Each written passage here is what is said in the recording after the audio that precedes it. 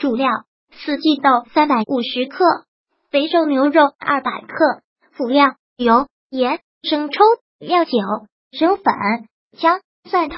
准备时间：十分钟内。制作时间：十到二十分钟。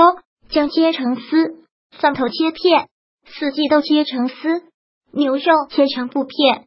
加入生抽、料酒、生粉，腌制一会儿。热油炒香牛肉至六分熟，然后盛出备用。另热油炒香姜蒜，倒入四季豆翻炒，加入适量的生抽，盐炒匀，再加入适量的水，炒至四季豆快熟时，加入炒过的牛肉炒匀，炒至味道完全融合在一起即可。